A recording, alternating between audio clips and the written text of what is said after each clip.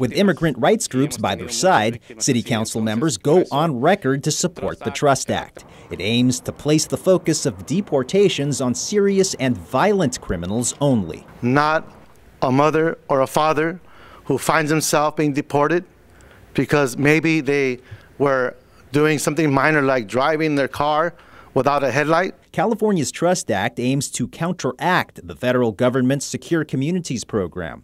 Secure Communities allows local cops to share fingerprint records of anyone arrested with immigration authorities. This has helped boost deportations in California to around 80,000 since 2008, but critics say it largely targets the wrong people.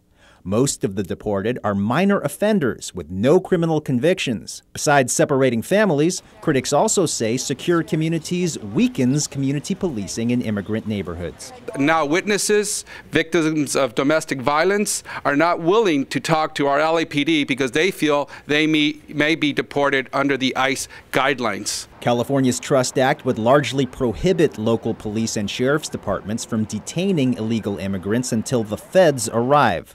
Only those charged with serious or violent felonies would be detained. Interestingly, LAPD Chief Charlie Beck and police departments statewide largely support the measure. Meantime, sheriff's departments are largely split over the issue. The governor has till the end of the month to sign it into law. In downtown LA, Gil Reyes for LA This Week.